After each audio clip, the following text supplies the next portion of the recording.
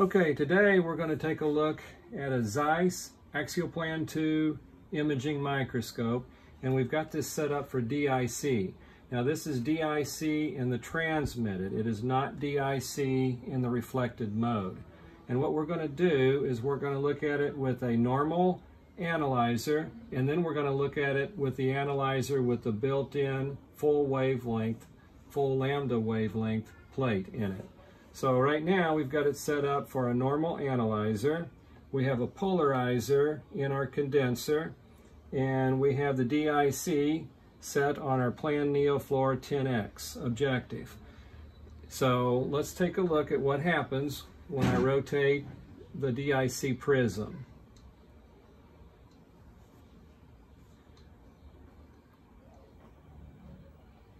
Now this is not a biological specimen, this is a petrographic rock specimen. It's a thin slice of a rock. So it's a little different from what we would normally do with our biological specimens. Now, let's go ahead and kick in our full wavelength, full lambda wavelength compensator. Now, as you can see, we're, we're getting our colorations. With the rock being a birefringent specimen, we're able to see these color, different color hues.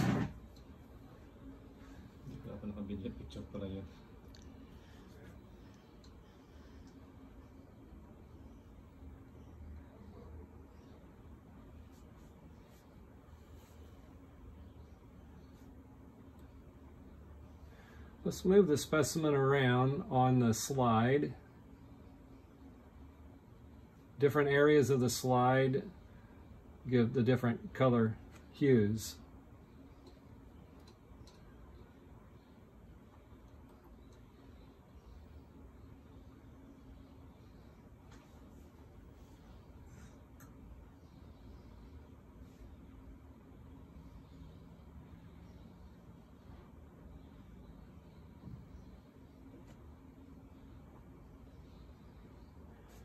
And again, if we take off the full lambda wavelength compensator and we just go to only a straight analyzer, in this case we're still getting some color hues.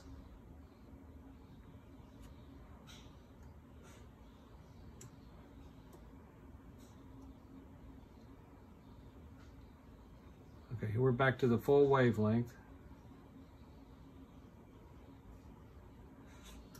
You know, this is a straight analyzer.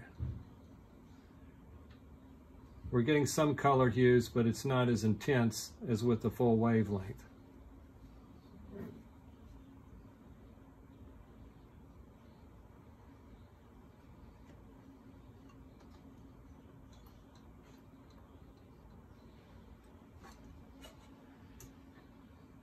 So this is with the lambda, this is without.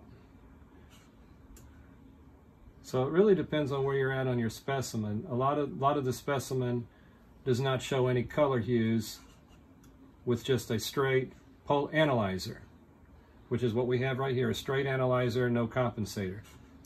Now, full wavelength compensator.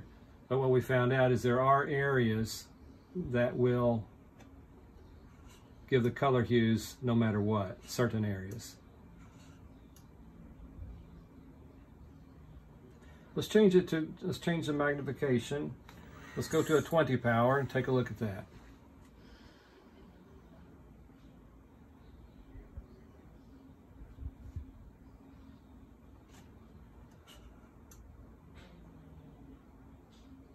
Okay, now we've got our full wavelength in place.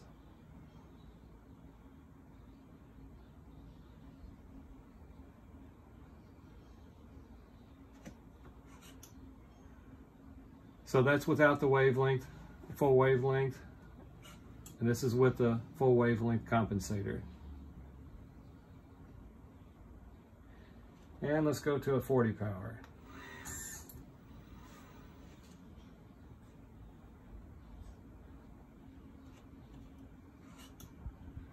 No compensator and with a compensator.